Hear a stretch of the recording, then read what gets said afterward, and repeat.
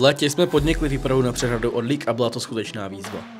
Panovaly opravdu vysoké teploty a náročné dno s ostrými kameny a velkým množstvím vázek nám také práci neulehčovalo. Ale to, že ve svém okolí jsme neměli žádného jiného rybáře, nám hrálo do karet.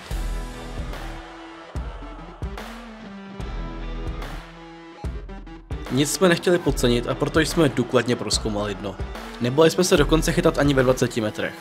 Kvalitní návazce společně s produkty McBites je zaručený recept na úspěch. Teď ještě, aby to došlo i těm kaprům. Já doufám, že ho chytnu.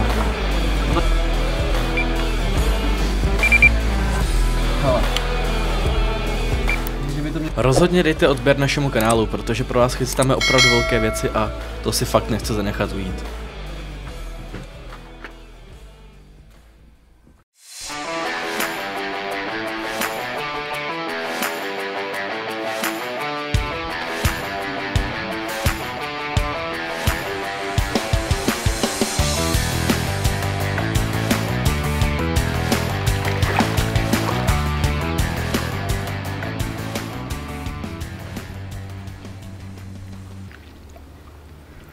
Tak tohle to je moje první ryba na Orlíku. Kam jsme se teď vydali na týden, možná déle, to ještě uvidíme podle ryb, ale zatím to vypadá docela dobře.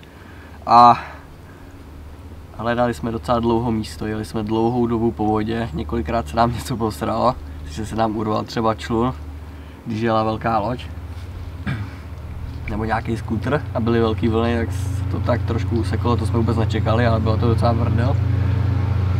Teď tamhle zase něco jede, zase dobrý vlny. Ale tohle to je jako naše první ryba po dlouhém hledání místa, což si myslím, že je naprosto do, jako geniální, to fakt dobrý taková ryba. Na vodě, kde jsem nikdy nechytal kapry. Jsme vlastně tady poprvé na kaprech a zatím z toho máme hrozně dobrý pocity. Tohle to je úplně jako super voda, jako ty skály tady neskutečný. A tohle ta rybka jako pěkný na začátek. S tím letím jsme spokojení. A snad nám nedojde jídlo, no. Protože tahle ta ryba by byla fakt super. Já to si dělám prdel. První ryba je vždy dobrá zpráva. Byla to známka toho, že jsme si pro náš šlo vybrali to správné místo. Teď už jenom nepodcenit situaci a počkat si na tu správnou odlickou obludu.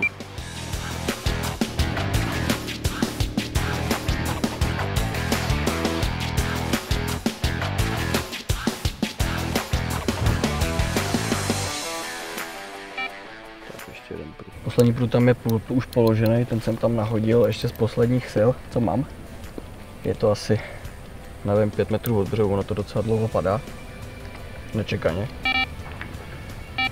Ale když. Jo, byl, no. Nevím. Padá třeba určitě. No, loví tu, loví tu všechno, bolení dost. Jsou tu štičky malý a všechno, ale tenhle ten prut tady je teď asi 5 metrů od břehu. Jenom kolem 4 metrů hloubky, ještě tam hodím tak půl kila koulí. Máme tady druhou noc a konečně pořádnou noc. Přes den jsme měli tu jednu sedmdesátku a pak asi 4-5 malých kapříků. Ty jsme teda neukazovali, ale teď ta příroda tady to je úžasný. Ještěrky, zvířata, všechno. Snad to tam je všechno dobře, no. Uvidíme. Ale jako zatím to vypadá fakt dobře. Mám z toho radost.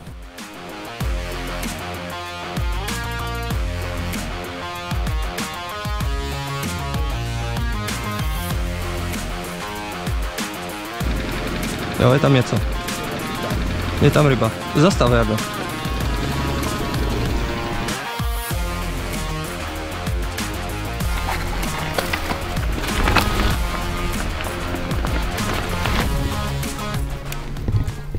Tak jo, je to tady. Máme pondělí, nevím kolik může být, tak kolem třetí hodiny a je první perfektní lisec. První větší ryba, určitě na 10 kg. Vypadá to, že asi ryby už konečně najeli, protože zatím jsme tahali jenom menší ryby, tak doufám, že přijde hnedka další. A jdu to tam hnedka zavíst, protože, protože si myslím, že jich je tam určitě víc. Davidovi se podařilo ulovit nádherného lisce a hned po jeho puštění zavezl svůj prut zpátky na místo. Tento prut pokládal do hloubky 17 metrů, což už je solidní hloubka.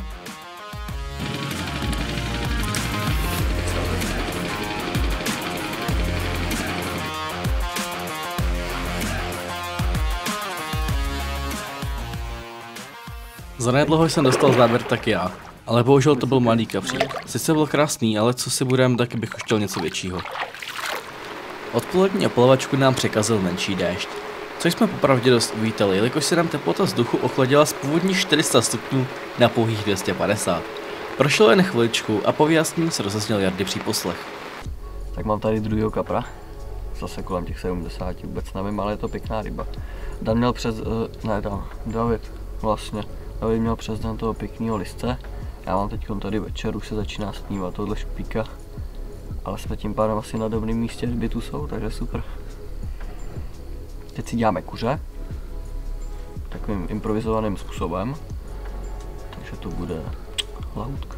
Ale teď tohle špíka jdeme pustit.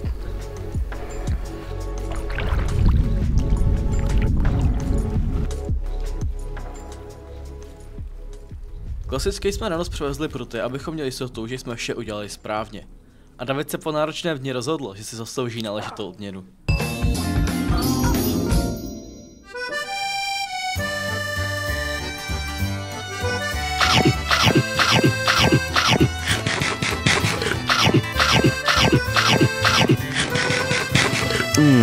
Perfekt. Tak dnešní den hodnotím velmi úspěšně.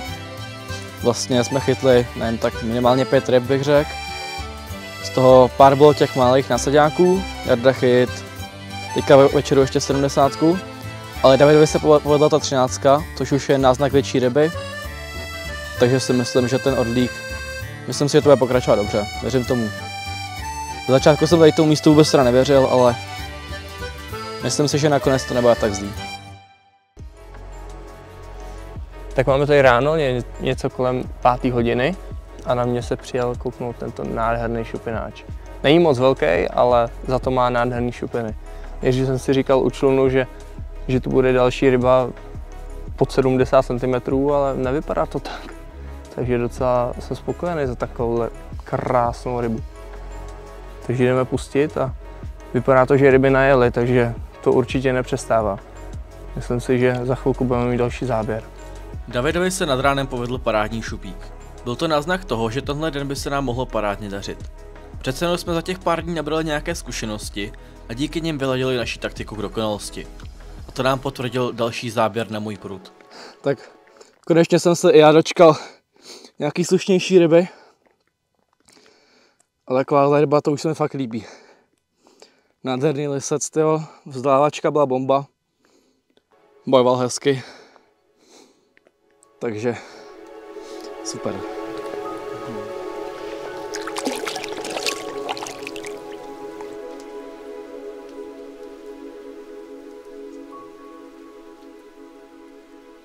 Po zbytek dne jsme už bohužel byli bez záběru, ale to si další den mělo naštěstí změnit.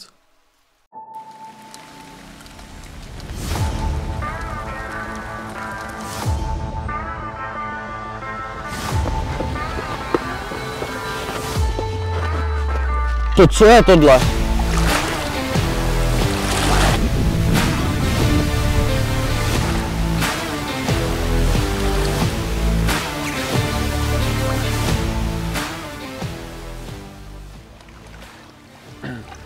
Tak máme tady double po odpolední.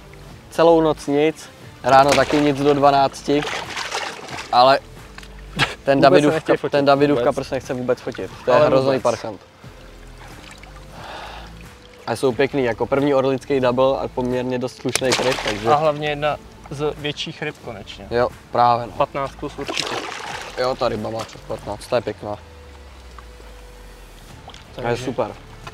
Toto je ovšem paráda už. Ale prostě se fotit nechce.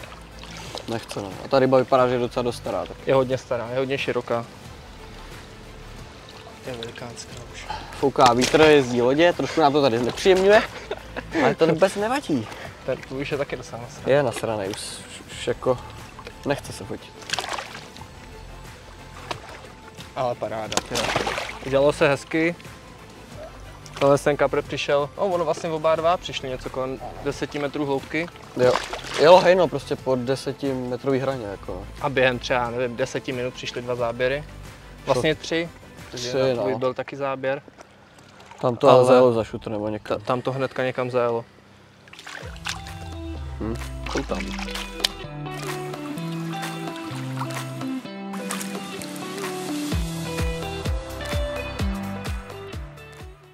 Tak dneska máme úterý, už je večer a povedlo se nám dneska udělat několik záběrů.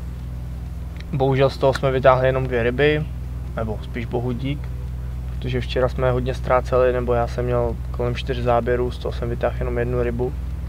Vždycky ty ryby někam zajedou, nevím, prostě do pařezu, kamkoliv, nebo se prostě vyháčkujou, takže bohužel tak to je. Jsme na Orlíku, s tím jsme museli počítat. Teďka čekáme, že možná přes noc nám přijede další takový hejno. Dneska nám přijelo jedno. Během- Během 15 minut jsme udělali asi tři záběry, z toho se nám povedlo vytáhnout dvě ryby s jardou. A bohužel ten, ten třetí, tak, tak ten, ten spadnul prut a, a vůbec, vůbec nic na něm už nebylo. Byl někde zajetý ve stromě.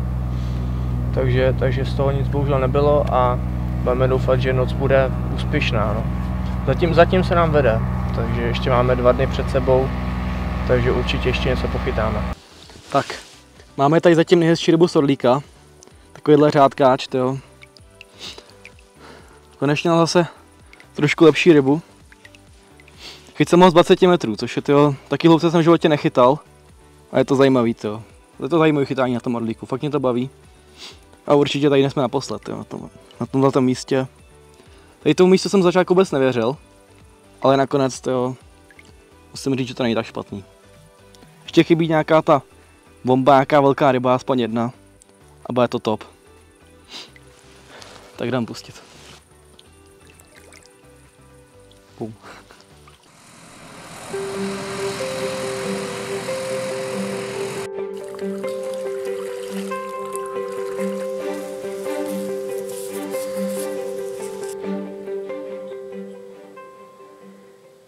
Tak máme tady předposlední den a odstartoval to tento úžasný, sice ne moc velký šupináč. Je hodně dlouhý, což se ani moc nedivím. Bohužel ty ryby tady se moc nechtějí chytit. A je v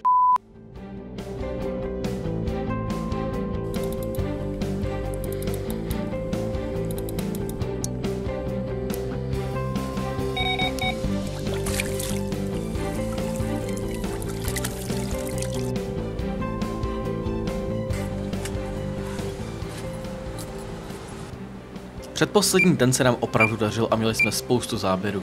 Víš, Jako by nás ryby přemlouvali, abychom ještě pár dní zůstali. Nás ale čekala další výprava na jednu menší přehradu. Na to se ovšem můžete těšit v dalším videu. Orlík je úžasná a zároveň obtížná voda. A z této výpravy odjíždíme plní skvělých zážitků a nových zkušeností. je.